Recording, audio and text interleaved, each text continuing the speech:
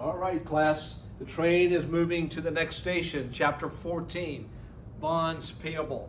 And we will now begin to use time value of money that I introduced uh, as a refresher from chapter in chapter six uh, in our first lecture. Uh, so now we're going to look at some present value of future uh, payments, obligations of the corporation, uh, you know, to uh, for long-term debt. So let's get let's talk about this. So companies have basically two uh, forms of financing. Equity where we uh, sell stock in the company and uh, investors have an ownership interest in the company. They have a right to all future earnings. Uh, that's really cool. If you're an investor we like to say they have skin in the game uh, because if the company does it well they can lose everything but they can uh, make a lot of money if the company does well. Second form of financing are, is debt and so uh, investors in debt, they don't have skin in the game where they can have big upside if the company does well. Does well. The company only has to pay back uh, the uh, obligation uh, from the contract that they have with the debt investor. We'll look at this in bonds uh, here in a minute.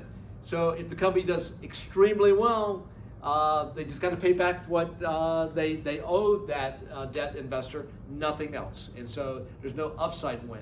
Now, if the company uh, goes bankrupt, does very uh, poorly, the bond investor is first in line. They can come in and claim all the assets of the company and turn those into cash. And if that doesn't, if that doesn't fulfill the entire bond obligation, then the common stockholders uh, the equity holders get zero, right? And so uh, in a bankruptcy situation, you have a credit committee uh, with the bondholders there looking at the assets of the company and will try to take over and will take over the company. And so uh, the present value of a bond, we're going to look at this present value, the future payments we've got to make on that, that bond. So bonds, unlike notes payable, uh, two differences from notes payable. One, uh, uh, the interest is going to, some part of the interest is going to be paid along the way, whatever the stated interest rate, we'll see that in a minute, and then the liability be paid at the end. And it's a much longer term. Notes payable anywhere from a couple of months to two years, not much more than that. A bond could be a 10, 20, 30 year bond. Municipalities, cities, they, uh, that's how they fund themselves with bond offerings. The federal government funds uh, trillions and trillions of dollars with uh, treasury notes and they have uh, common factors. They have three, five, seven, 10 year treasuries and 30 year treasuries. Uh, nothing beyond that these days. Although I think the UK, uh, United Kingdom, has a 100 year bond. It's a much uh, longer term that we've got to uh, take into account here. and so we have some new definitions for you, and you may remember some of this from Principles of Accounting. And so uh, that bond is going to have a face amount. That's, that face amount equals the payment that we made by the company on the maturity date, the last date of that bond. If it's a 10-year bond, on the last day of the 10th year, the face amount of that bond will be paid. If that bond says a $1,000 bond, a $1,000 will be paid on the very last day of the term of that bond.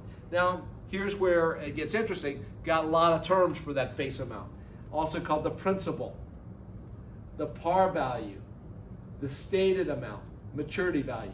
And in class, by the way, even me, I use these interchangeably. Sometimes I'll call it the principal, sometimes I'll call it the maturity value, uh, I like uh, stated amount, or the face amount. I, I will, myself personally, use even different terms for that. Now, during the term of the bond, interest is going to be paid. Uh, it's a periodic interest payment that's going to be paid. And how much is going to be paid? Exactly what is stated on the bond certificate.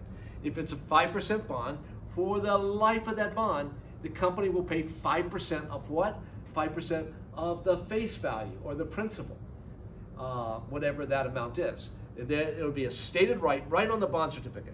Okay, here you go.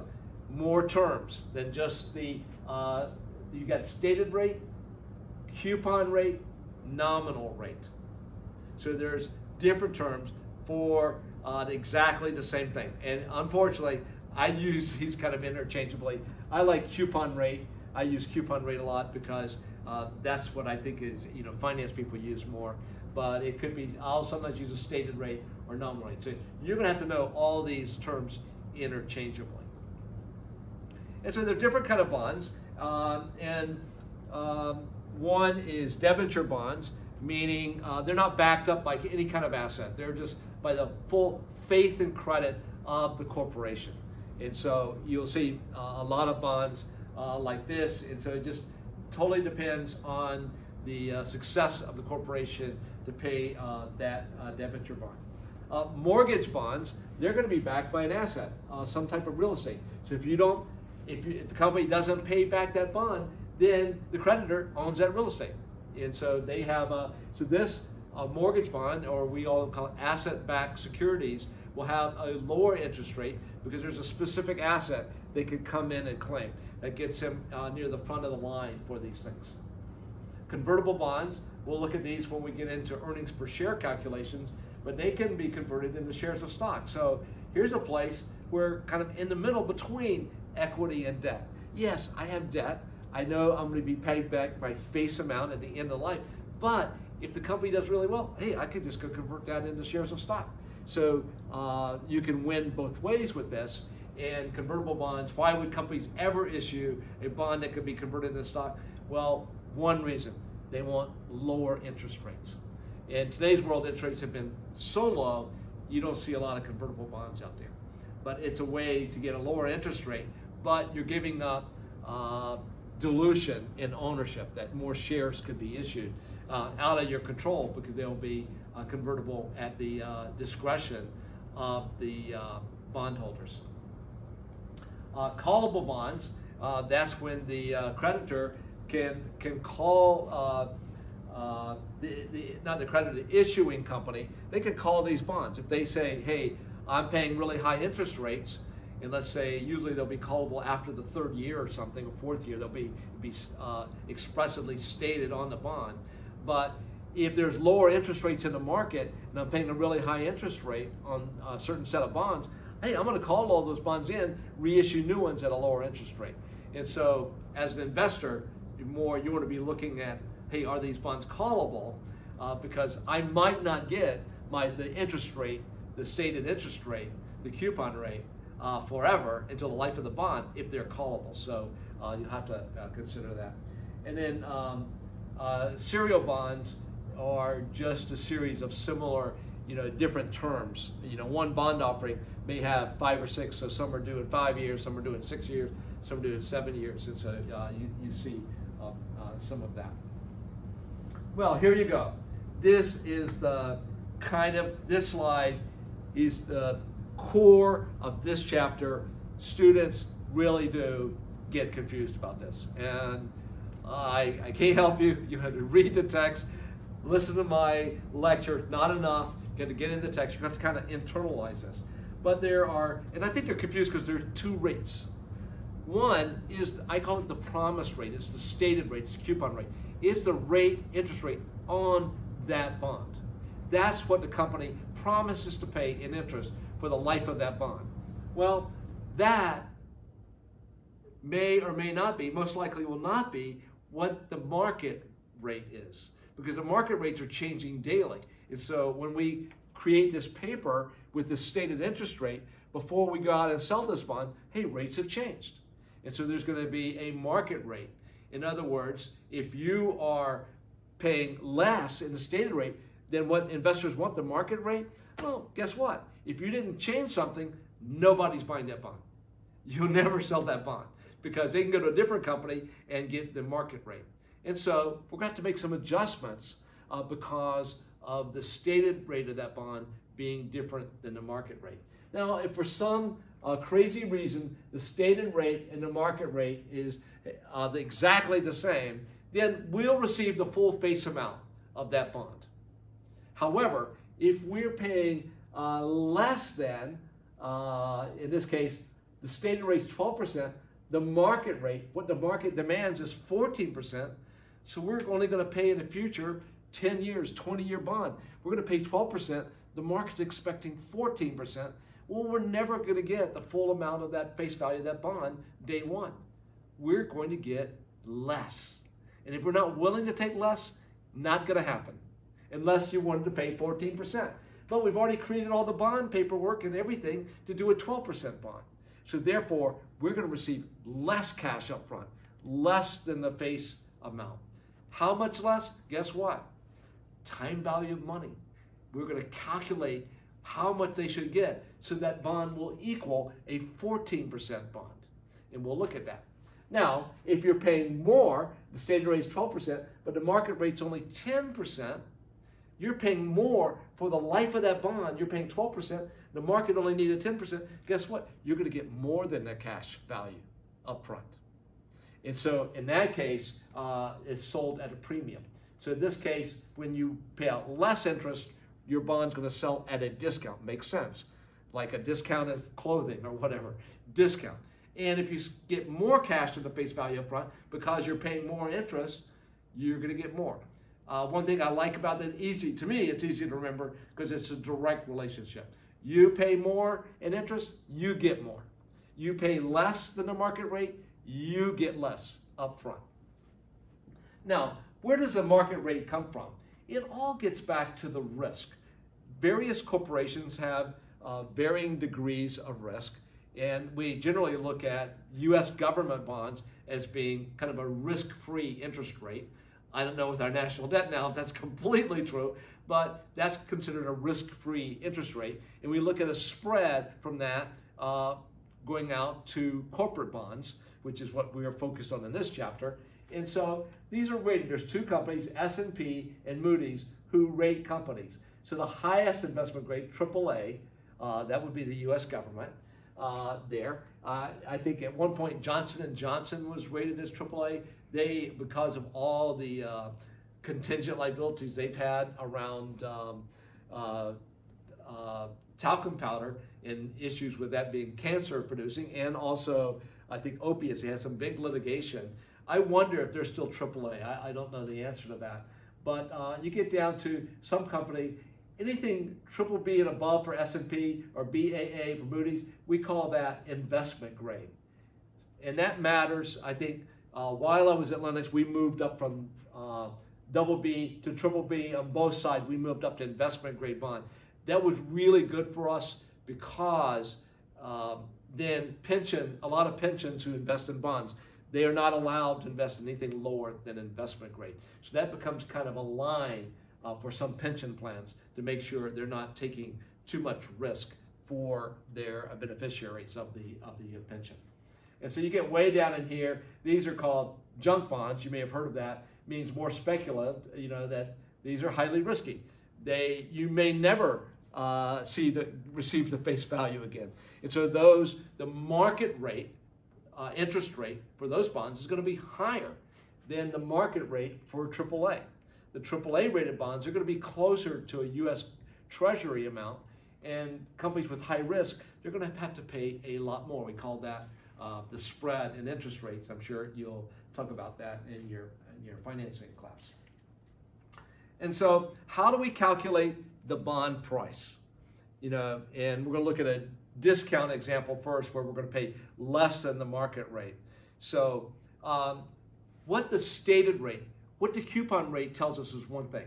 How much cash we're going to pay in the future and is it, how many times per year is going to be paid. Corporate bonds mostly twice a year, semi-annual payments. And a lot of our examples would be like that. And so we're going to discount back those interest payments and we're going to discount back that face value at what? We're going to discount it back at the market rate. So the stated rate tells us how much future cash payments will be outgoing and the timing of those cash payments. What is that called? Annuity. And this is going to be a present value of an ordinary annuity because the payments are made at the end of the period and we're accruing interest along the way. So not an annuity due, an ordinary annuity.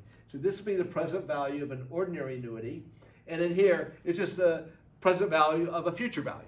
And for that's that payment that we made, the face value is paid on the last day of the term of that bond. So a 10-year bond, we paid uh, in would be equal to, to n 10 times how many payments per year, uh, even though there's no payments, and we would look at that as present value of that one payment uh, 10 years later. Here, it would be the present value of an annuity of interest payments.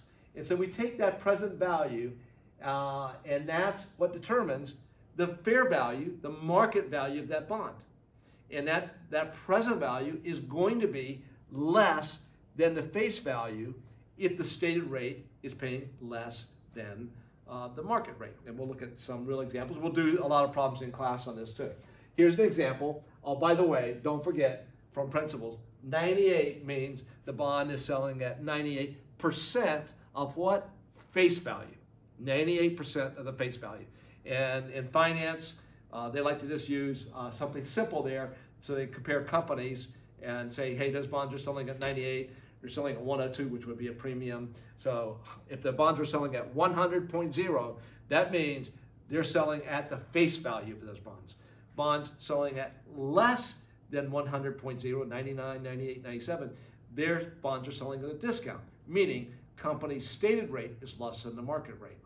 If the market price of the bond is greater than 100.0, 101, 102, 103, that means company's paying more interest uh, in their stated rate, in their coupon rate, than the market rate or the effective rate is another term for market rate.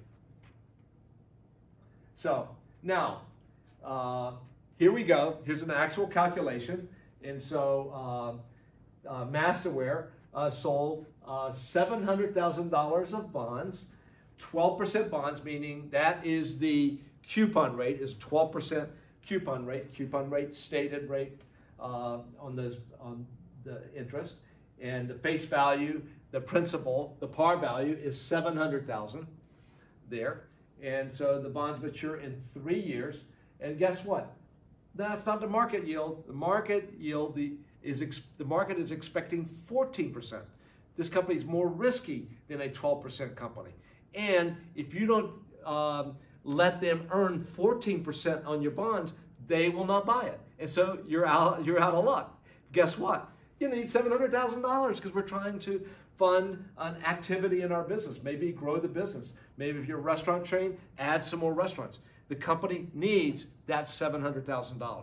And so it's going to uh, sell these bonds at an amount that will yield an effective rate and market rate of 14%. So how do we calculate that? Uh, we take uh, 42,000 in payments, and these are annual payments, Interest of 42000 is payable, oh no, these are semi-annual payments. Uh, sorry about that. Uh, June 30th and December 31st. So uh, here's an ordinary annuity of $1. N equals 6, because three years times two payments a year, N equals 6. I equals 7%, because 14% um, market rate divided by 2, because there's two uh, compounding periods in the year, two payments per year. And so n equals 6, i equals 7%. What's my present value? 200,195. Future value is equal to zero. I'm just looking for present. So I know uh, I'm trying to determine the present value. I know n, I know i. I can get to that present value of 42,000. And then next, we're also going to have another cash outflow because we are going to pay $700,000 the face value on the last day of the third year. That's the maturity value. Regardless of what we receive up front, we have a contract that we're going to pay 700000 in, the, in at the end of three years. What's the present value of that? N equals 6, I equals 7%. No PMT, no payments. And so that's equal um, 700000 uh, at a 14% interest. That's why it's a high interest, 466. That's a lot lower than 700,000. What is the difference between 466 and 700? Interest. The difference between a present value and a future value is interest. Um, and so that uh, difference is interest, 466. So guess what? Um, my present value of six payments of 42,000 and one payment of 700,000 at the end of three years, that present value is 666. At what interest rate? 14%, the market rate. So therefore, the company is going to receive cash of 666,000 They're going to pay 700,000 at the very last day of th the third year, and they're going to pay six payments of 42,000. And guess what? That is now a 14% uh, interest rate. And so the investor is going to uh, receive 14% interest. The company is going to have an expense of 14% uh, because they only receive 666 up front, not 700,000. So we've taken a 12% bond and we've made it a 14% bond. Now, couple of terms uh, here for the market rate, the 14%. Market rate, that's one term. Effective rate, and then yield. Uh, yield is a very common term. This bond is now yielding 14%. However, it's only paying 12%. And so the investor is yielding, receiving 14% interest, um, and the company is incurring 14% interest. Now, let's look at the accounting for this. Uh, well, here, here's a, a, a, little graphic that talks about everything I just talked about. Uh, six payments of 42,000, one payment of 700,000, uh, present value of all of that, 666, uh, 633. And so here is uh, the accounting uh, for this. Uh, and you'll have to know all these kind of uh, journal entries, except this. We are not going to look at investments because that's chapter 12. Uh, so do not worry about the investor side of this in blue here.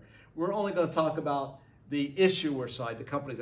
Companies can invest in bonds of other companies, and we cover that in chapter 12 towards the end of the class. And uh, forget that. Sorry, to, I can't take it off the slide. I'm using this slide. And so here's the entry we care about.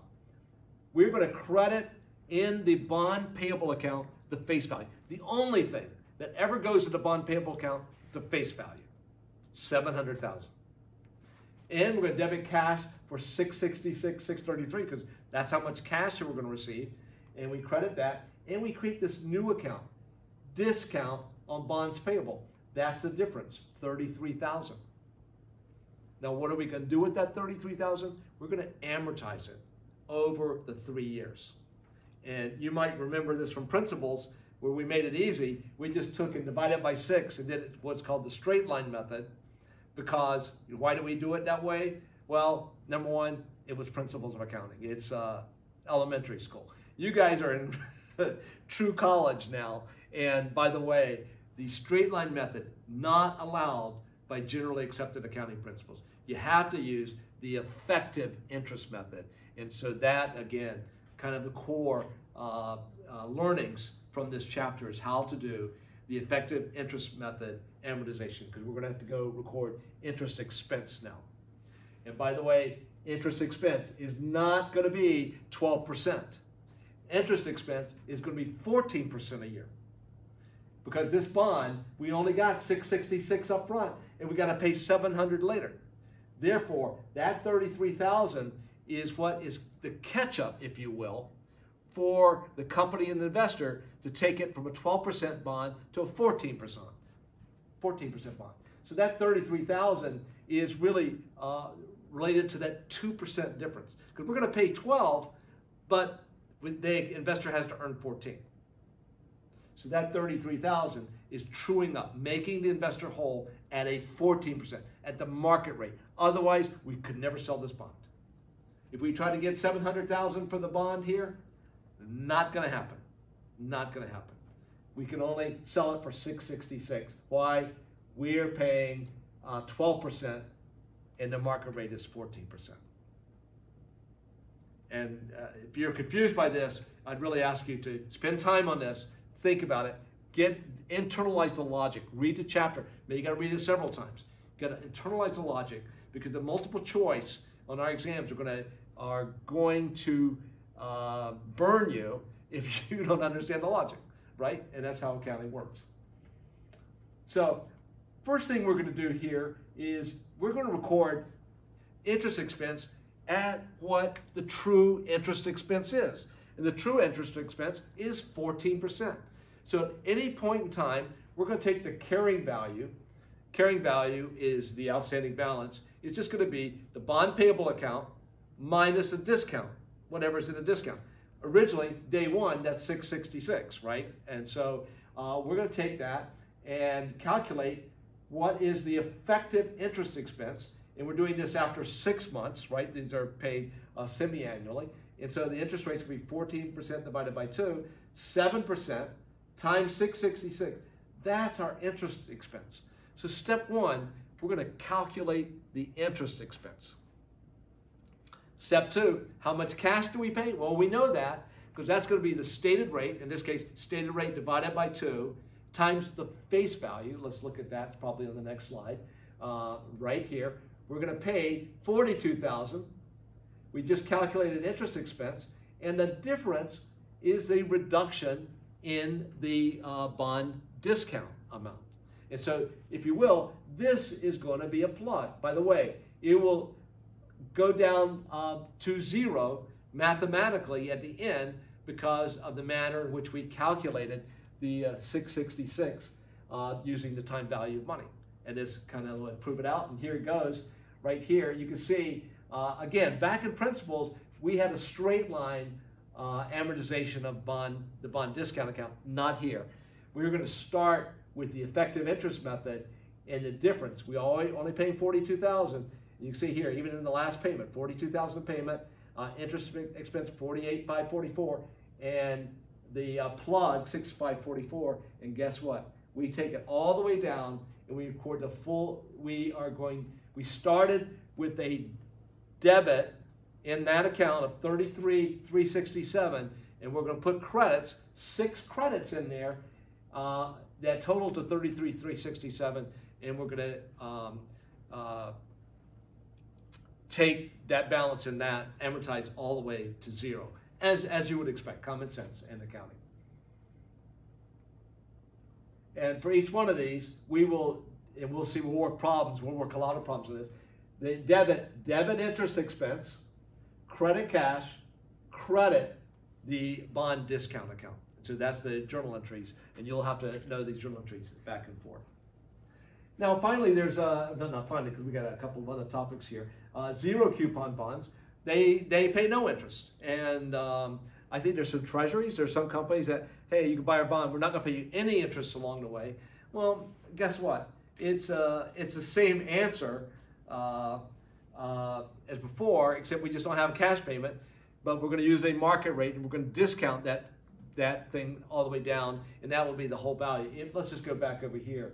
Um, if there was no payments, this 700,000 zero coupons, it would have sold for 466 because there were no payments along the way. Just going to be a deeply discounted bond with a very large um, bond discount amount, and we will amortize that. Everything else stays the same.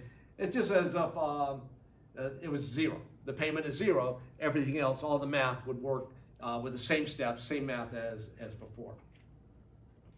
Now, if bonds sell for more than their face value, excuse me, um, they're going to sell at a premium. And so the company is going to receive uh, more cash. And say we do the same math. Everything is, is exactly the same. All the steps in the math is exactly the same. We just talked about it, the discount. It's just that the company is going to receive more cash up front. And we're going to create a bond premium account with the credit balance. In this case, 35,533 and then everything else stays the same. And so uh, here, forget the investor again, X that. Uh, so 735, bonds payable, guess what? We never put anything in the bonds payable account except the face value. The cash we receive, uh, that's calculated using um, the, the market rate. Same as end of the discount situation. It just turns out the answer is 735. And instead of a bond uh, a credit and a bond discount account, we create a new type of account called a bond premium account with a credit. And then we just follow the same math, calculate the interest. So look how this works here. Uh, we're paying more than the interest expense, and that results. So we start out with a credit in the premium account, and these are debits all the way down until we uh, amortize that credit balance down to zero. Everything's exactly the same kind of math, same steps, and everything else. It's just you're dealing with a premium uh, versus a discount. Why is it a premium? Because we are paying more interest than the market rate. We still discount uh, and cal calculate our present value using the market rate, just happens to be a, uh, a lower rate than what we're paying. Again, just to kind of summarize here, and then just go back and say that one more time.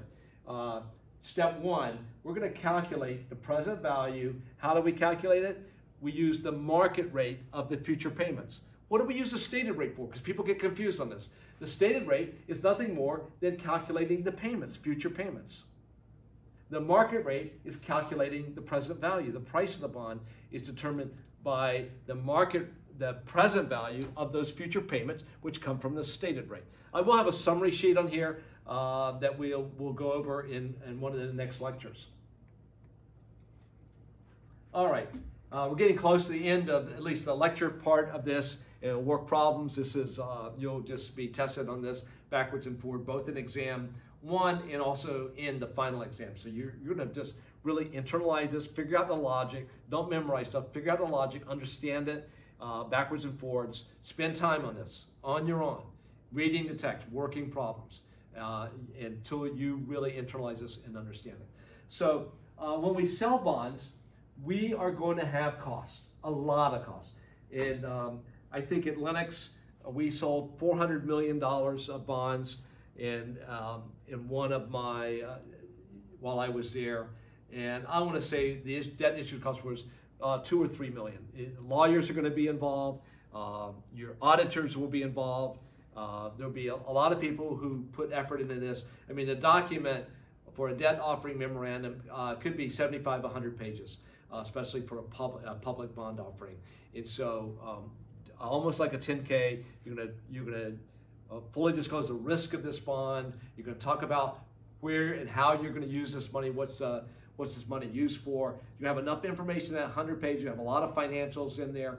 You have enough information so the investors, these are usually institutional, very smart investors, they'll read this, they'll understand this, and um, uh, in these 100 pages, they will make decisions whether they're going to buy your bond or not.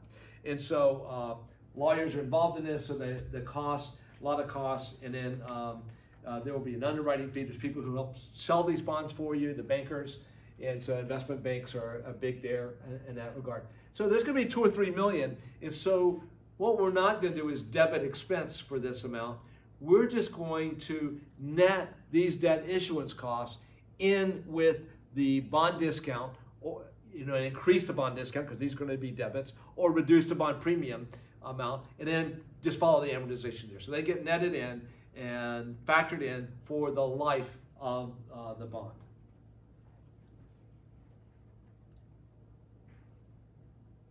And so we combine, as I just said, with the discount of the premium, and then that just becomes part of the uh, entire uh, amortization uh, factor for that.